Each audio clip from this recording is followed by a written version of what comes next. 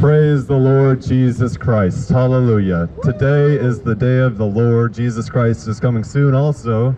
You don't know when you're going to die as well. So don't don't die in your sin, guys. Do not sell your soul to the devil. Sell your soul to Jesus Christ by becoming born again. John 1:12 says that only those who receive the Father and obey his commandments are children of God. So not everyone's a child of God. A lot of people say, "Oh, we're all children of God." No, we're not. The only people that are children of God are those who keep his commandments, because the Bible says this is love, that we keep his commandments, that we love him and love our neighbors. The truth is love, everyone. So we need to start telling our neighbors the truth, because the truth is what sets people free. Making people feel comfortable in their sin isn't the truth. That's a lie straight from hell. It's time we start telling the truth of the Bible. Because guess what? I used to be a sinner. I used to sin all the time. But I praise God. God bless you today, man. And your family. I used to sin all the time. I used to look forward to sinning. But I became born again when I was 18. I repented and I put my trust in Jesus Christ. John 1:12 says that only those who obey the word of the Lord are children of God. You're not a child of God if you're sinning throughout your whole lifetime. 1 John 3 6 says that those who abide in me do not sin. There's a lot of fake Christians out there today that say, oh, it's okay if you're in your sin. Oh, it's okay if you fall into sin. But first, what First John 3 6 says that those who abide in me do not sin. For those that sin have neither seen me nor known me. Praise God. For those that sin have neither seen me nor known me. You don't know God if you're still sinning, guys. Nowhere in the Bible does it say that we continue in our sin. The Apostle Paul refers to us in the letters in the in the New Testament that we are righteous and holy by the blood of Jesus Christ. We used to sin. Praise God. We used to sin. We used to do this and that. We used to have sex before marriage. We used to commit adultery, smoke weed, do this and that, get drunk, masturbate, do this and that, put put sin before God. But I'm here to tell you today that you need to repent of your sin just like how I did when I was 18. If you repent and continue to fall into sin, you never truly repented. Repenting means a changing of mind. You no longer think the way that you used to think. You think that sinning is bad. I hear so many Christians say, oh, I'm born again, but they're living the same lifestyle. They're living the same lifestyle that they're living before they had said they're born again. You're not born again if you're living the same lifestyle that you were before. The Bible says that those who keep my commandments are children of God. Those who receive Jesus Christ are children of God. Those, praise God, God bless you tonight. Those who do the will of the Father are children of God.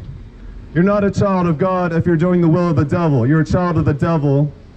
And I'm, I'm here to tell you today that I used to be a child of the devil. But guess what? I repented of my sin and I put my trust in Jesus Christ. I'm here to tell you today that God so loved the world that he sent his one and only son, that whoever believes in him shall not perish, but have eternal life. Do you know what believing in God means? It means a lot more than most people think, because John 1 1 says that God is the Word and the Word was with God. So God is the Word. So if you believe in Jesus Christ, you believe what the Word says. And when you truly believe, God bless you tonight, man. And if you truly believe what God says, then you're going to be led to obey it. Oh, you believe in Jesus Christ? Good for you. The demons and the devil believe in Jesus, but they're obviously not Christian. They're in hell right now burning, and they're going to be burning forever. Praise God. God bless you tonight. Even if you don't want to hear this tonight, God bless you. Jesus Christ is the King, and I'm pleading with your soul. I care about your soul. I don't want you to go to hell. Jesus Christ talks about hell a lot. It's time you know the God of the Bible, people. It's time you know the God of the Bible. If you decide not to repent, God is going to take joy in destroying you. Deut Deuteronomy says that just as he enjoyed multiplying you, just as he took pleasure in multiplying you, he's going to take pleasure in destroying the wicked. You keep on choosing to disobey God, then guess what? You're going to have a mighty wrath come upon you, and it's going to come a lot sooner than you think. First, 1 John 2 6. Whoever claims to live in me must live as Jesus did. If you claim to be a Christian, you, you must live as Jesus did. Spiritually. You have to spiritually live as Jesus did. We obviously can't all look like Jesus, so it doesn't mean live by Jesus by according to appearance, but spiritually. Preach the word. 1 Timothy 4 2 says, Preach the word of God in season and out of season. Even when you don't feel like it, preach the word of God. Preach the word of God. Preach it, preach it. Don't worry about what pe- people think. Don't let other people drag you down to hell. Don't let your boyfriend or girlfriend drag you down to hell with them. It's time you know Jesus Christ. And Jesus Christ does love you, but he's also righteous and holy. If you really love your boyfriend or your girlfriend, it's time you start following God. You want to know why the first and greatest commandment is to love God with all your mind, heart, soul, and strength? You want to know why that's the number one and greatest commandment? It's, it's because when you follow that commandment, you're going to be led to follow the rest of them because the word is God. When you are when you follow the first and greatest commandment, you're going to be led to love your neighbor. You're going to be led to not lie and steal. You're going to be led to not fornicate and blaspheme. No more using God's name in vain. And by the way, stop claiming that Jesus Christ does this and that when you don't even know him. Stop claiming this and that about Jesus Christ when you don't even know him and you're not even keeping his commandments. It's time you know the God of the Bible, everyone, because guess what? The Bible says that my that my people perish for lack of knowledge. A lot of people are sent to hell because they don't have they have a lack of knowledge. They know they don't know enough about God. They think that oh God is just going to forgive me whatever I do. No, trust me, God is not going to accept you for who you are. That's why he says you must be born again. If God just accepted you for who you were, then why would he say that you must be born again? It doesn't make any sense. It doesn't make any sense. Okay, the homosexuals say, oh, I was born this way. All right, that's why Jesus says you must be born again. You think you were born homosexual? You think that you were born into this and that? That's why Jesus says you must be born again. Just because you're homosexual doesn't mean you have an excuse. You're just as guilty as the rest of us. I used to sin all the time. I'm not better than you. I'm just better off than you because I repented. And I put my trust in Jesus Christ. Hallelujah. Hallelujah. He is the King, and the King is coming very soon. And also, you don't know when you're going to die. You could die tonight. You could get in a car wreck. You could get in a heart attack. You could die when you're having sex tonight. You could die when you're eating food. You could get shot, ran over. You don't know what would happen. Your car might explode tonight. So I'm here to tell you today repent of your sin because you don't know when you're going to die, but God does. And by the time you die, God is going to say, I gave you enough chances. The Bible says that everyone is going to have a chance to follow God. Paul says everyone's going to have a chance to hear the gospel. No one, there's not going to be any, except, any exceptions when it comes to the day of judgment. There's not going to be any exceptions when it comes to the day of judgment. You either follow God or you didn't. You either repented of your sin, because guess what? The Bible says that all have fallen short. We've all sinned against God at one point in our life. We've all done it. We've all fallen short. That's why we must be born again. God bless you too. Take care, guys. Praise the Lord. Okay. All right. Praise, praise God. Hallelujah.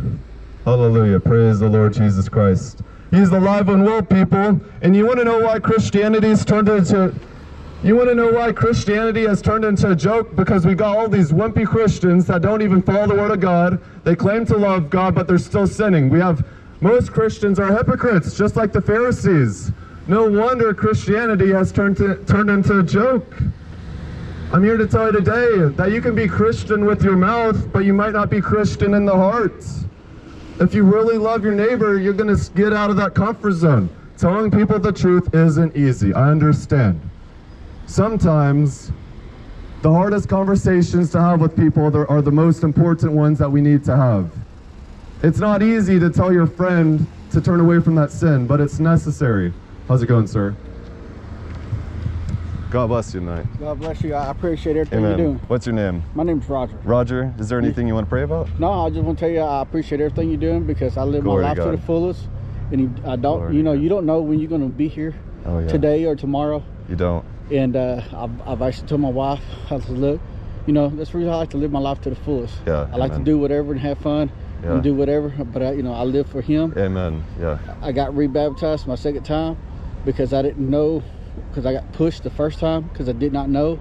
Me too. But but my second time, I got rebaptized, and I loved every bit of it. Amen. I, I yeah, I've been rebaptized too. Praise God, brother. You- You take, you take You care tonight. good one. You Yes, take sir. care. You tell your wife we said hi. I will. My name is Aaron. Uh, his name is Hallelujah. Josiah.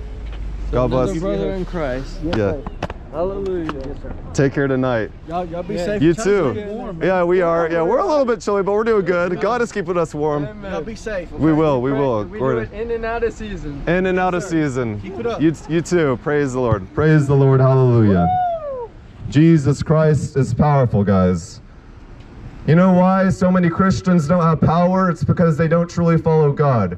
They claim to love God, but they're they're hating on him through the rest of the week. They go to church, they worship and praise a God that they ignore and hate throughout the rest of the week. Yes, when you sin, you're actually hating God. It's his commandments.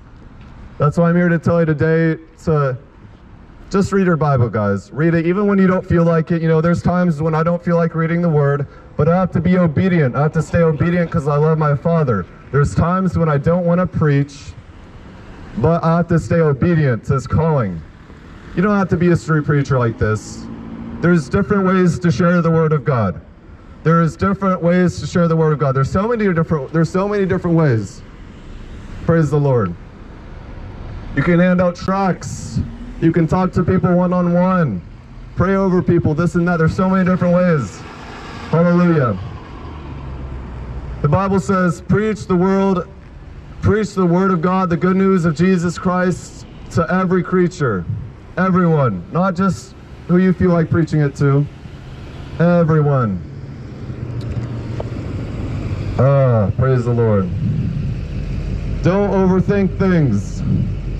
Don't overthink it, guys. God is in control. Don't overthink that situation you're in right now. God is in control if you lean on Him. The Bible says, the Bible says that if you acknowledge God in all your ways, He will direct your path. He will direct your path if you acknowledge Him in all your ways. But if you're sinning throughout the whole week, He's not going to hear your prayers. The Bible says that He does not hear the prayers of people that have iniquity in your heart. No wonder God isn't answering your prayers. is because you've been sinning throughout the rest of the week. Why are you asking God for things when you've been disobeying Him this entire time? That's why you have to get that sin out of your life. You have to repent, just like me and my brother did. Praise the Lord. Mark 1:15 says, "The kingdom of God is at hand. Repent and believe in the gospel." That's the first thing that Jesus said in the book of Mark. Praise God. God bless you tonight, whoever said that. The first thing that Jesus Christ said in the book of Mark was, The kingdom of God is at hand. Repent and believe in the gospel. It's at hand, guys. And Revelation says that He's coming quickly. Time goes by fast. Time goes by fast. I hear people say, Oh, my kids, look, they've grown up so fast. Oh, look, uh, time went by really fast. Yeah, same goes with God. Uh, the more time that goes the more time that goes by, the sooner God is going to come. Guys, it's just simple. It's not that complicated. God bless you tonight, guys. Praise the Lord. Praise God Almighty. Jesus Christ is the King. Buddha is not the king, died, guys. He died and he stayed dead and he's burning in hell right now. Muhammad died and he stayed dead, and praise the Lord, he's burning in hell right now. Allah died and he stayed dead, and he's burning in hell right now. But guess what? I'm here to tell you today that Jesus Christ died and he rose again. Hallelujah. Praise the King. Jesus Christ is alive and well. And guess what? The free gift of of God, the free gift of God doesn't cost you any money. I just said it's free. The free gift of God is the Holy Spirit. Once you truly repent and put your trust in Him, guys, everyone knows the verse John 3:16, but it's time you start obeying it. Just because you can quote that verse doesn't mean you actually believe in God. It's time you actually obey John 3:16. Because guess what? Everyone knows John 3:16, but what about Revelation 3:16? Everyone knows the verse John 3:16, But what about Revelation 3:16? It says, what is if you're lukewarm, he's going to spit you out. Because you're neither hot nor cold, he is going to spit you out because you leave a bad taste in his mouth. He doesn't like people that are back and forth. You can't be back and forth with God. There is no in between. You're either for God or all against him. Revelation 3:16. God bless you today. Hallelujah. Revelation 3:16. But because you are lukewarm, neither hot nor cold, I'm going to spit you out of my mouth. You leave a bad taste in Jesus Christ's mouth? That doesn't sound good to me. It doesn't sound like you're going to be entering heaven if that happens to you, to me. Guys, the Bible says to fear not man. Don't fear man. Man can't send you to hell. Man can kill the body, but not the soul. But the Bible says to fear the one who can kill body and soul. Praise the Lord. God bless you tonight, ma'am, and your family. The, the Bible says, fear God who can kill body and soul. Jesus Christ can kill your body and also send your soul to hell. Praise the Lord. Jesus Christ can kill your fleshly body and also send your, your soul to hell. That's why we have to fear God and, and keep his commandments. Deuteronomy says that this is a man's all. Deuteronomy says that this is a man's all, that we fear God and keep his commandments. That's all you have to do. It's not that complicated. Once you truly do that, you're going to be led to read the Bible. You're going to be led to follow God. The devil's going to make it seem all complicated. Oh, you have to do this and that. But I'm here to tell you today, I'm here to tell you today that the path to life is narrow and it's simple, guys. It's not open minded. You do what the Bible says. I'm here to tell you today that the path to death and destruction is broad. Most people go to hell. Most people do not inherit the kingdom of God. That's just what Jesus says. I love what God says. That's why I'm repeating it. Praise the Lord. How's it going today, sir? God bless you. God bless you today. Thank you, sir. Thank you. Praise the Lord. Hallelujah. Yeah. God bless you today, sir. And everyone else who is here today, I pray in the name of Jesus Christ that you repent tonight if you haven't already. Because guess what? You don't know when you're going to die, and you don't know when Jesus Christ is going to come back. You, you got two things coming against you. You don't know when you're going to die, and you also don't know when Jesus Christ is going to come back. And I'm here to tell you today that you don't want to be left behind in the rapture. While you have a chance, while you have a chance to be a part of the rapture, it's time you get born again today. Because once the rapture happens, it's going to get a whole lot more difficult. But even then, even then, it's going to be worth it. I'm here to tell you today that if the rapture happens and you remember me saying this, follow God still no matter how hard it gets. Because guess what? It's going to be worth it. You're not going to have to burn in hell for eternity. No matter how gets how hard it gets in this life, it's worth it. It's way better than burning in hell for eternity, where all the sinners are going to go that didn't repent, and all the demons and the devil's going to go. Don't get it wrong, guys. I used to be a sinner too. But I repented and I became born again. I'm no longer that person. I no longer look forward to sinning. I no longer strive to sin. I no, I no longer try and find pleasure in sinning. I follow God's word. I might get tempted, but praise the Lord. 1 Corinthians 10:13 says that God gives the power for people to turn away from temptation. So next time you're tempted to masturbate, next time you're tempted to watch that pornography, oh yes. Oh yes, guys. I know it's funny. Next time you're tempted to have homo sex, realize that God provides a way out of God bless you guys tonight realize that God provides a way out of that temptation, no matter what it is lying, stealing, murder. God will pro- provide a way if you seek Him. It's not easy. If it, if it was easy, if it was easy, then there wouldn't be so many people going to hell. The Bible says that those who endure till the end shall be saved. So just because you got baptized when you're six years old and said that cute little prayer, oh, God is my Savior, but then you continue to sin against Him, doesn't mean you're saved. It's a continuation. It says, Those who endure till the end shall be saved. And the Bible talks about a great falling away. How can you fall away from something that you were never in? You realize if you don't sin, died for nothing, right? No. God did not die so that you could keep on sinning. You have that mindset, you're going to be sent to hell soon. It's time you repent.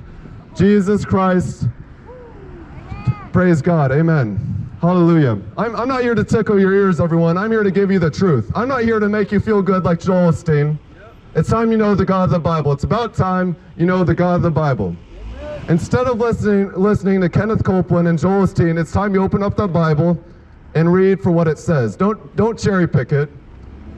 Just because you know John 3.16 and, and Math, in the first two words of Matthew 7.1, which is don't judge, doesn't mean you're Christian. It means you're lukewarm. Just because, this is, this is funny to me. Just, the only two things that lukewarm Christians know is John 3.16 and the first two words of Matthew 7.1, which is don't judge. They can't even read the full verse. Christians, all they know is the first two of uh, the first two words of, John, of Matthew 7.1, pardon me, which is don't judge, but they don't even read the full verse. It says, do not judge out of fear you yourself be judged. So don't judge hypocritically. Don't judge people when you're in sin yourself. The Bible says, don't judge until you've removed the log out of your own eye. I've already done that. That's why I'm here judging you. And it's time you read the book of Judges. It's about God sending people down to judge. And guess what? Those people are servants of God. They're not judging sinfully, they're judging righteously. It's, John 7 24 says, Don't judge according to appearance, but judge with righteous judgment. Hallelujah. Praise the Lord Jesus Christ. We are here if you need prayer for anything, spiritually, physically, no matter what it is. If you believe in Jesus Christ, He will fix it one way or another.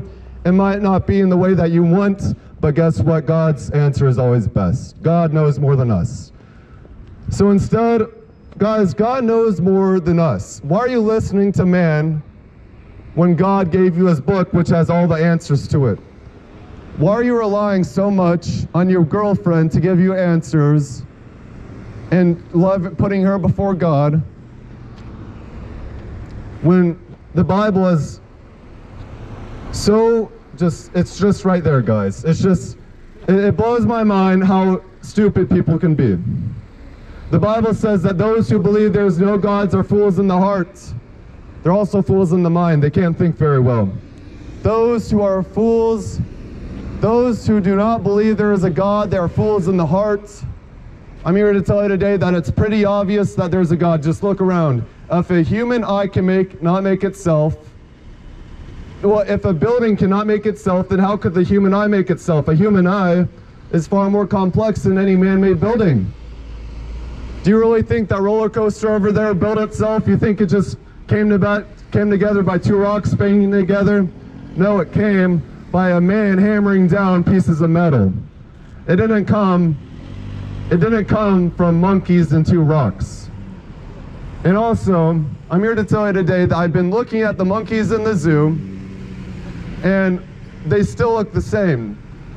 When are the monkeys in the zoo going to turn human? When are the. It's silly, guys. There obviously is a God. There is a God. It's obvious. It's obvious, everyone.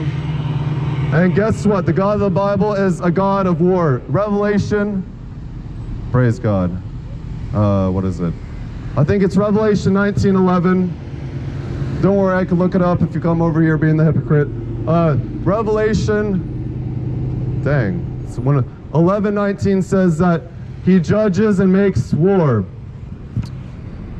God, Jesus Christ judges and makes war. No wonder you don't like what I'm saying. It's because there's spiritual warfare going on, guys. There's spiritual warfare going on. He's making war right now between you and me. Because guess what? I have the Holy Spirit and you have the spirit of the Antichrist. Jesus Christ judges and makes war. Hallelujah. Let me go to that chapter real quick. I'm going to praise the Lord. About to give it to my about to give my mic to my brother. Praise the Lord. Let's read this verse real quick. Okay, I think praise God. Hallelujah. I pray today that you are following God. All right, praise God. 1911 I was right. Hallelujah. All right, guys, open up your Bibles, get out your phones, write it down if you want to. This is a great verse. Revelation 19:11. Now I saw heaven opened, and behold, a white horse, and he who sat on it was called faithful and true, and in righteousness he judges and makes war. Oh yeah, you you like to say, oh, don't judge, don't do this and that. But guess what? I'm here to tell you today that God is going to judge you, and if you stayed in your sin, you're not going to be sent to heaven. You're going to be sent to hell. I don't want you to be sent to hell. That's why I came here today to fill you up with knowledge, the knowledge of God, not the knowledge of man. This isn't my understanding. Guys, I read this in the Bible, and I came to tell you what I read in the Bible. Hallelujah. Praise God. His word is sharper than a double-edged sword. You think that machine gun is powerful. Well, the Bible has the power to send you to heaven and hell. You think that bomb is powerful that we dropped on in Japan in World War II. But yeah, what, say it. Hiroshima and Here, here, yeah, Hiroshima and Nagasaki. You think that that bomb was powerful, but I'm here to tell you today that the Word of God is way more powerful. Has the power to send you guys to heaven and hell, depending on whether you obey. God bless you guys tonight. Uh, he has the power, because John 1 1 says that He is the Word. I'm not talking about the physical book, guys. Praise God. The Bible is just there. It's just there. It's the truth. It's in a book so that we can read it. Doesn't matter if you burn your Bible, the truth is just going to be there. It's going to be there forever. Because guess what? It was in the beginning and the end. Hallelujah. Here you go, Josiah. Praise the Lord. Hallelujah, everybody. Hey, guys. Today I'm speaking. Guys, we ain't here uh, for the fun of it. We ain't here for the, as you would say, heck of it. Guys, we need to watch our language, watch our tongue, as it says in Hebrews. Yes. Guys, it's hard to break it to you, but you guys won't understand the love of God without the wrath of God. Amen. And without the wrath of God, you won't understand the love and grace that He has, that He stored upon you. So guys, we're here today to tell you that the wrath of God is serious. You need to fear Him. He's a builder. He built this earth. He built it with His word. He didn't build with a snap of a finger. He built it with His word.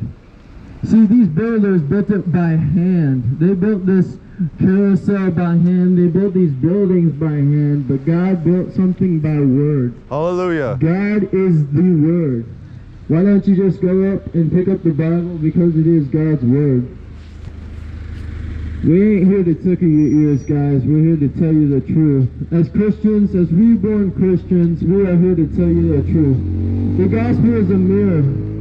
It reflects your lifestyle. If you continue smoking, it's going to say stop that because you're harming your temple. You're harming your soul. You're going to die. We're here for people like you because we love you and nothing else but God loves you. You may raise your hand and cheer that God loves you and then you may go tonight and have sex with somebody you're not even married to. And that's going to be a sin that you're going to have to repent for before God. Every knee, every knee will bow and every tongue will confess. The Bible is true. The Bible is definitely true, and I don't know how you guys don't understand. Hallelujah. It's hard to speak about His love without the wrath. He's going to come here and judge you. He's going to judge upon you. He's going to come here on the clouds of white falling from heaven.